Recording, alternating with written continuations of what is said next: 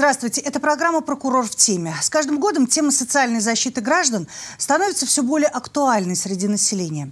О том, является ли это направление приоритетным для прокуратуры сегодня и какие существуют основные формы социальной поддержки и как их получить, поговорим в нашей программе. Я представляю гостя в студии Александр Левыкин, прокурор Октябрьского района, советник юстиции.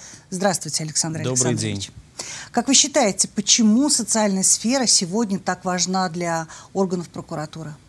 А, ну, Хочу отметить в первую очередь, что вопросы социальной защиты и охраны прав а, граждан на получение социальной помощи являются изначально приоритетными а, в надзорной деятельности органов прокуратуры. А, Основная задача органов прокуратуры и та задача, которая транслируется Генеральной прокуратурой, это защитить права каждого гражданина. А в условиях, когда по инициативе и президента, э, и правительства страны выделяются огромные средства э, на оказание социальной поддержки, Конечно же, важно, чтобы все эти денежные средства были доведены, чтобы они были доведены правильно, и каждый человек, кто нуждается в этой помощи, получил. И самое главное, знал о том, что он может ее получить. А, ну и, безусловно, задача защиты прав конкретного гражданина изначально у нас а, заложены в, закон, федеральный закон о прокуратуре Российской Федерации, поэтому это наша основная задача, с которой мы, а, принимая все меры, а, стараемся справиться. А, С своей стороны хочу сказать, что прокуратура Октябрьского района активно работает в данном направлении. Помимо того, что мы проводим самостоятельные тематические проверки, безусловно, мы рассматриваем и обращения граждан, а, рассказываем о том, где у нас проводится прием, когда, для того, чтобы а, люди могли обратиться со своими проблемами. Ну и, безусловно, как и в рамках настоящей программы, стараемся готовить а, разъясняющие информационные материалы. Э, У нас э, в настоящее время законодательством предусмотрено огромное количество видов социальной поддержки. Э, Вот. В рамках программы хотелось Да. бы на этом остановиться в общем и определить какие-то категории, возможно. Обязательно остановимся и более подробно вы э, расскажете в нашей программе. Но вот для начала я попрошу вас вообще обрисовать состояние законности в социальной сфере. Если говорить именно о состоянии законности, говорить о э, результатах, результатах наших проверок, выявляемых нарушениях, э, могу сравнить с, э, с прошлым годом. Количество нарушений в этой сфере э, увеличивается. Э, связываю я это в первую очередь э, не с ухудшением ситуации, а все-таки с увеличением количества и оказываемых видов поддержки и активную позицию граждан, ну и активную позицию прокуратуры, поскольку многие нарушения, скажем так, получается устранить уже и в рамках проверки. А, В связи с этим связываю именно этот рост с активной позицией со всех, скажем Да. так, сторон, заинтересованных лиц.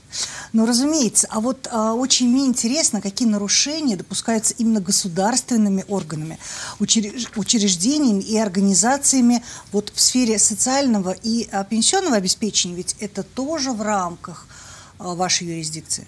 Да, абсолютно ве- верно вы заметили.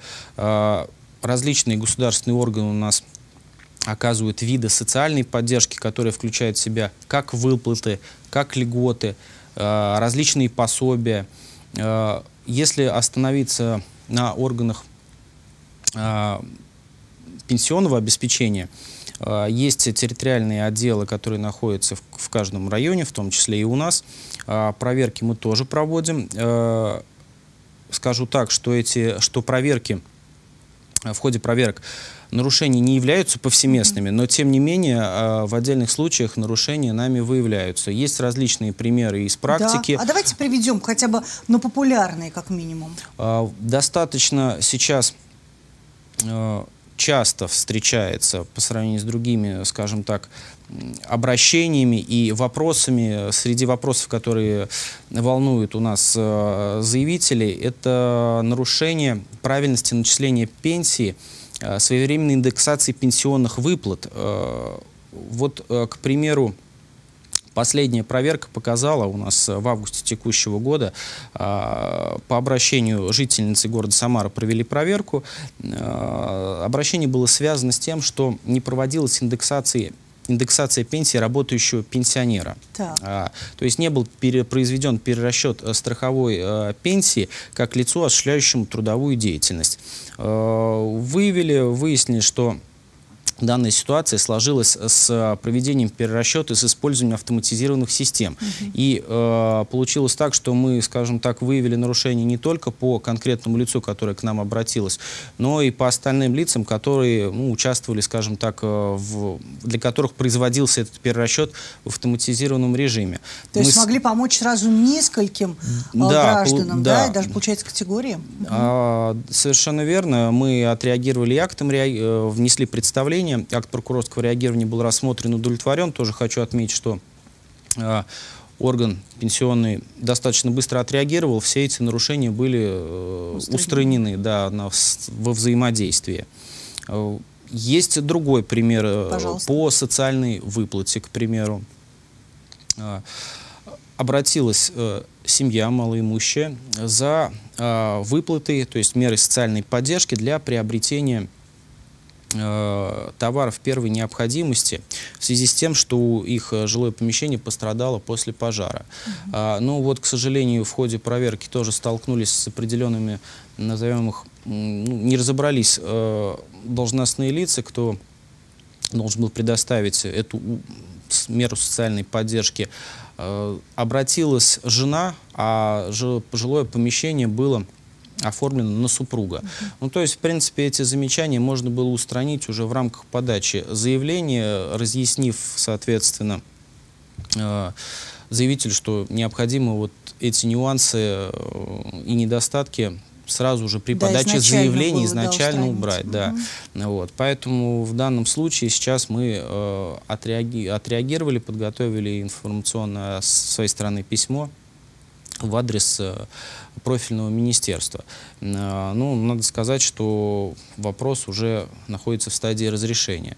Это вот такие э, явные примеры из практики, которые были, случились именно по в связи с обращением к нам граждан, mm -hmm. вот, и которые помогли действительно, как вы заметили, выявить еще ряд нарушений аналогичных э, и защитить права других граждан. Александр Александрович, какие существуют меры поддержки семьям, оказавшимся в трудной жизненной ситуации, и, конечно, вот, может быть, и связанных сейчас с а, непростой эпид-обстановкой у нас в стране, ну и, конечно, в городе в частности, в Октябрьском районе в данном случае.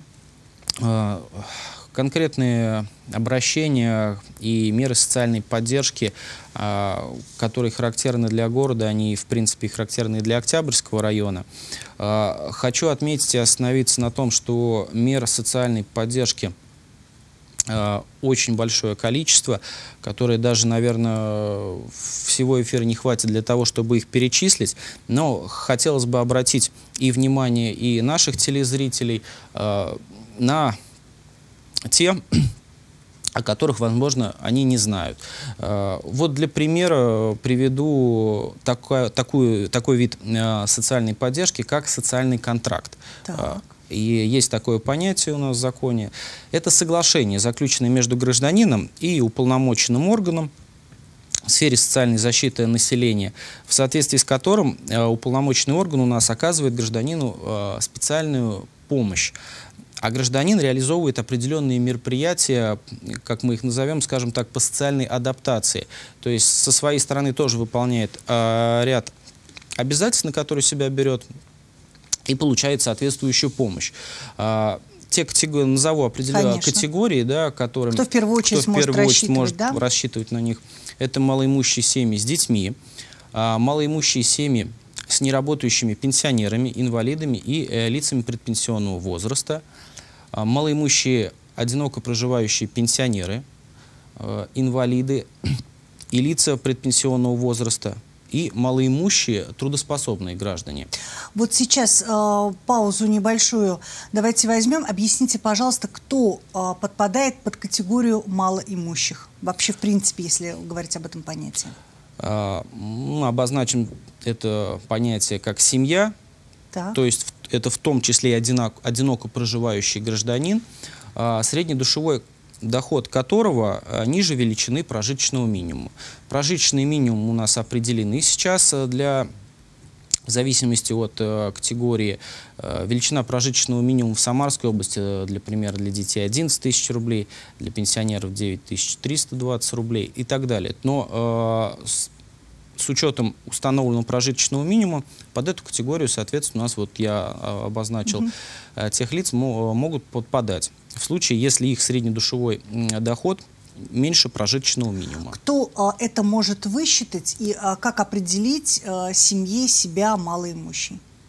А, в, ну, в первую очередь, э, исходя из тех доходов, э, которые э, семья получает в совокупности, в совокупности да, э, если есть э, сомнения и необходимость, не, необходимо получить, скажем так, консультацию да, по сумме, позволит ли она получить Э, какие-либо меры социальной поддержки, можно обратиться, э, во-первых, э, в государственные государственные у нас учреждения, которые есть на территории и Октябрьского района.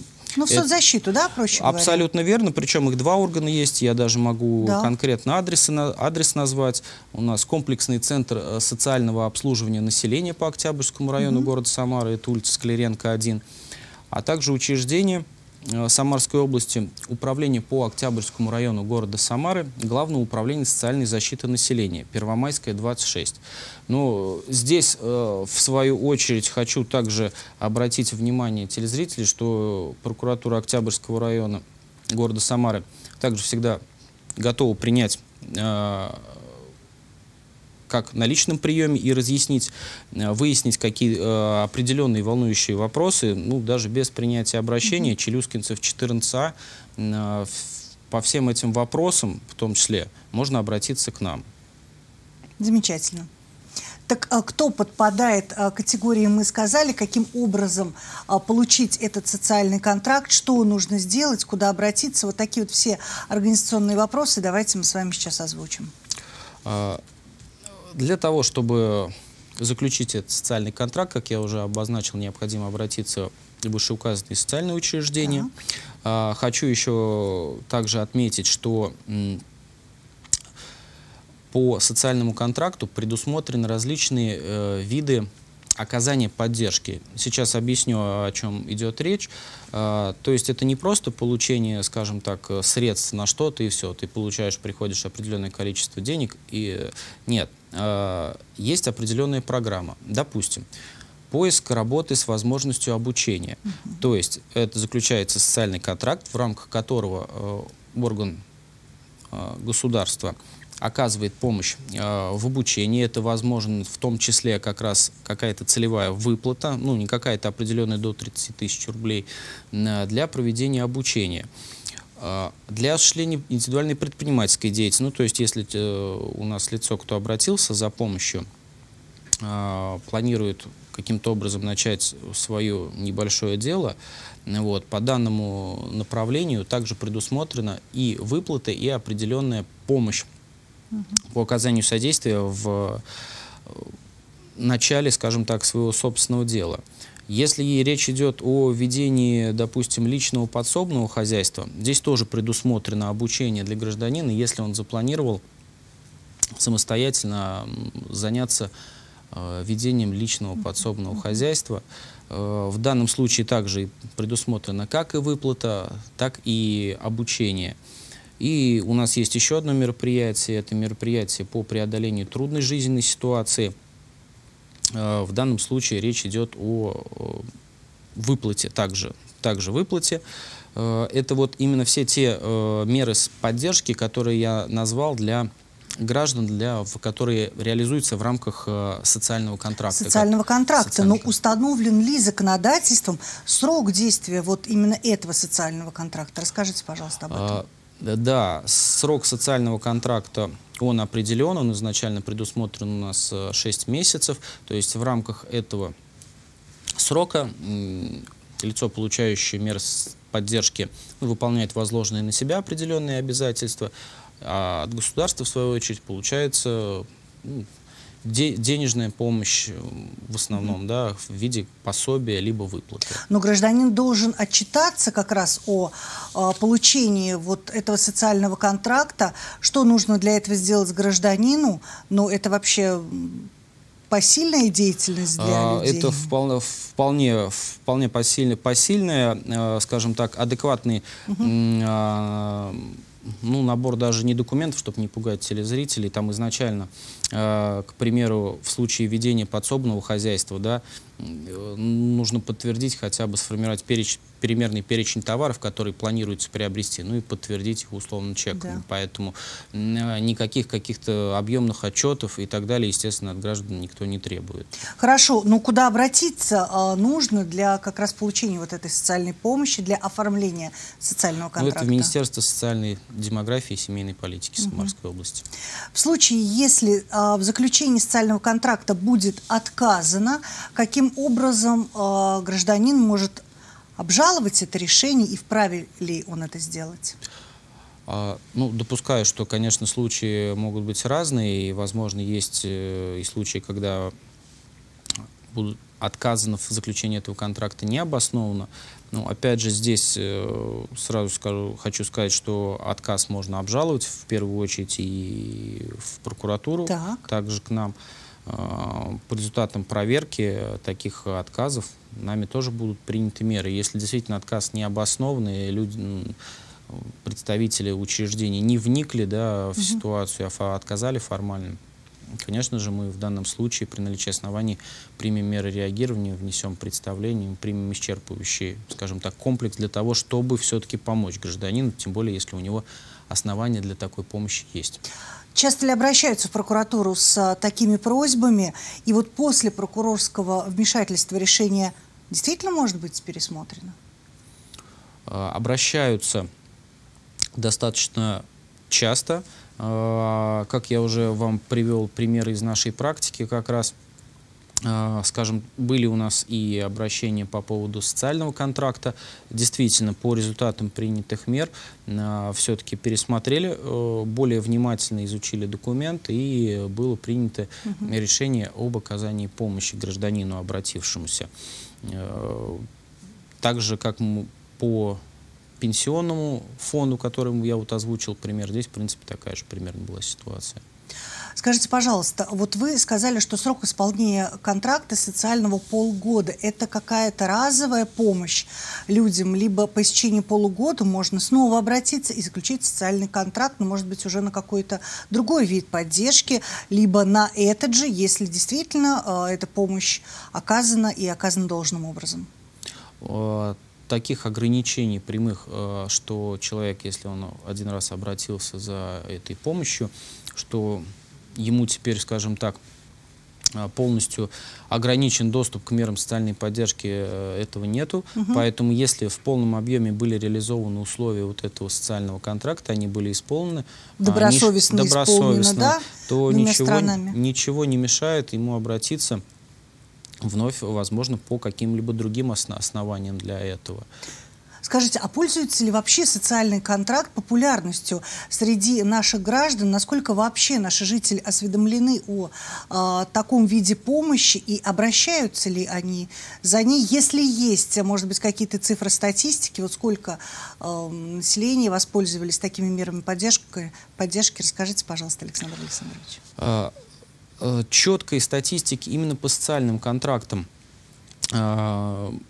именно официальной нету, но э, мы тоже, скажем так, э, монитор, проводим мониторинг ситуации по выплатам, по мерам социальной поддержки. И хочу сказать, что по социальному контракту вот именно этот вариант социальной поддержки угу. не так достаточно активно используется. Я связываю это тоже с этим, может быть, э, с по причине того, что необходимо более понятно, доступно объяснить э, гражданам, чтобы они знали об этом и могли обратиться. Э, поэтому вот в этом своем выступлении, в нашей беседе как раз затронул этот вопрос э, и озвучил его Подводя итог э, разговору про социальный контракт, я прошу вас еще раз назвать категории граждан, которые могут получить и стать участниками социального контракта. Ну, вот если кто-то сейчас к нам присоединился, озвучьте, пожалуйста. И все-таки э, на вашем мнении стоит ли обращаться вот за этой помощью, если гражданин ну, действительно в ней нуждается и попадает вот под категории, которые вы сейчас перечислите? Ну, я сразу отвечу на последнюю часть вопроса, потому мое мнение и личное мое мнение, конечно же, обращаться, с, э, стоит обращаться, поскольку я уже и в начале своего выступления говорил, озвучил, что э, огромное количество мер социальной поддержки предусмотрено различными, э, как и федеральными законами, и подзаконными нормативными актами. Поэтому э, денежные средства государством на это предусматриваются, и если есть в них нужда, конечно, э, основная цель, чтобы адресат эту помощь получил. Вот. Мы еще раз озвучим категории. Да. Это малоимущие семьи с детьми, а, малоимущие э, семьи с неработающими пенсионерами, инвалидами и лицами предпенсионного возраста, просто малоимущие, одиноко проживающие пенсионеры, инвалиды и лица предпенсионного возраста – и малоимущие трудоспособные граждане. Александр Александрович, существует ли бесплатная юридическая помощь для граждан и как прокуратура Октябрьского района ее оказывает? А, бесплатная юридическая помощь, такой институт сам по себе существует. А, здесь э, данную помощь оказывается на разных уровнях, скажем так, власти, как и органы местного самоуправления, и правительством а, предусмотрено оказание юридической помощи э, определенным категориям граждан, э, в том числе и инвалидам, и ветеранам боевых действий, э, несовершеннолетним и их представителям законом, ну, по-простому родителям, когда речь идет о защите именно прав -huh. несовершеннолетних. Хочу также еще раз обратить внимание телезрителей, э, что мы со своей стороны, и прокуратура Октябрьского района, и в целом органы прокуратуры э, в настоящее время э, ориентированы на оказание помощи категориям граждан, о которых мы сейчас говорим, в том числе угу. по как, разъяснению, юридическому сопровождению. А, поэтому, если есть какой-то вопрос всегда можно обратиться на прием в орган прокуратуры, в прокуратуру Октябрьского района. Э, порой даже, возможно, гражданину а, сложно сформулировать какой-то определенный вопрос. Ему достаточно рассказать свою определенную жизненную ситуацию, да. в чем сложность, да, и в том числе у нас практикуется проведение приемов с учетом санитарно-эпидемиологической, mm -hmm. конечно, обстановки, э, привлекаем в том числе сотрудников как раз социальных учреждений для того, чтобы сразу адресно оказать помощь. Не заниматься, скажем так, перепиской, а присутствует прием э, при приеме сотрудник прокуратуры, орган социального учреждения, для того, чтобы ну, условно сразу можно, можно было гражданина взять за руку, уж по-простому mm -hmm. скажу, да, и оказать помощь, содействие. Поэтому э, за юридической помощью всегда в органах прокуратуры мы ждем, готовы да оказать максимально, ее? максимально разъяснить угу. и оказать, э, разъяснить права для того, чтобы человек понимал, что он дальше может делать. Ну вот этим. услуги, касаемые даже юридической помощи, всех тех мер, поддержки, о которых мы сегодня говорим, касаемые, конечно, не только жителям Октябрьского района, но и всего городского округа Самара. Вот сейчас можете дать какой-то универсальный совет, универсальный путь, если вдруг э, телезрители, вот даже после нашей программы, понимают, осознают, что да, они могут рассчитывать на те или иные меры поддержки, куда обратиться нужно в первую очередь за разъяснением, ну и, как вы сказали, чтобы вот прямо максимально быстро и адресно, конкретно эту помощь уже получить?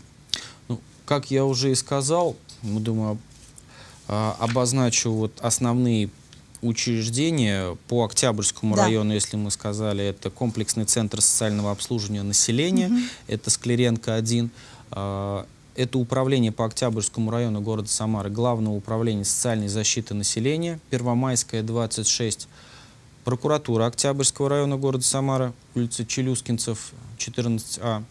А, основные я назвал, естественно, всегда э, окажут содействие в администрации Октябрьского внутригородского района, потому что там есть профильный отдел по этим вопросам, в том числе и по несовершеннолетним, поэтому обратиться можно всегда в администрацию района. Угу. Основные органы я назвал. А, что касается территориальных отделов фонда социального страхования и пенсионного фонда, а, в зависимости от э, ситуации, да, если не знаете, куда обратиться именно, здесь можно, я говорю, упростить ситуацию, прийти в прокуратуру Октябрьского района а, и уточнить вопрос, и можно и оставить будет обращение. Если там действительно оно будет относиться к компетенции непосредственно, допустим, пенсионного фонда, мы самостоятельно можем это обращение направить и проконтролировать его рассмотрение.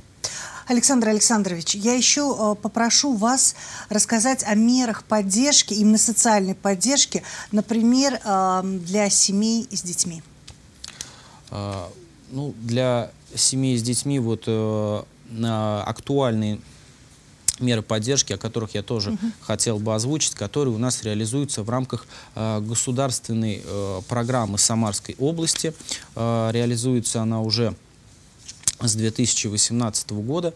Э, это те меры поддержки, которые э, реализуются в рамках национального проекта «Демография». -huh. То есть денежные средства э, предусмотрены у нас федеральным бюджетом. Э, выплаты производятся на территории Самарской области. Вот тоже их озвучу. А, к примеру, предоставление ежемесячной выплаты в связи с рождением первого ребенка, предоставление субсидии на ежемесячную денежную выплату назначаемый в случае рождения третьего ребенка и последующих детей до достижения ребенка э, трех лет. Представление ежемесячного пособия, тоже обращу, обращу внимание, э, для родителей, воспитывающих детей в возрасте от полутора до трех лет, не посещающих образовательные учреждения. Предоставление единовременной выплаты семейный капитал при рождении третьего ребенка, ну, я думаю, это наиболее известная да. Э, категория э, социальной поддержки предоставление ежемесячного пособия на ребенка угу. э, в студенческой семье. Э, для себя, вот э, отмечу еще, помимо указанных периодических э, выплат, которые можно получить в рамках э, национального проекта «Демография» и государственной программы Самарской области, э, к, к примеру, в соответствии с законом, принятым в 2019 году у нас о мерах Э, государственной поддержки семей, э, имеющих детей в части погашения обязательств по э, ипотечным жилищным кредитам, ну, из названия федерального закона говорит само о себе, что тоже данный закон предоставляет возможность получить выплату до 450 тысяч рублей для погашения кредита ипотечного при рождении третьего ребенка. Возможно, тоже для телезрителей Э, э, эта категория поддержки социальной, ну, может быть, неизвестна, угу. тоже будет интересно. Спасибо вам большое. Наша программа подходит к концу. Я хочу предоставить вам заключительное слово. Скажите, пожалуйста, все-таки прокуратура стоит на страже интересов жителей? В данном случае мы говорим про Октябрьский район. Безусловно. Это наша основная задача, это задача нашего коллектива и меня как прокурора района. Спасибо вам большое. Спасибо всем тем, кто был сегодня с нами. Вы смотрели программу «Прокурор в теме». Ну, а ответы моего сегодняшнего гостя были более чем исчерпывающими. Спасибо вам большое. Спасибо большое вам. Всего хорошего. До свидания.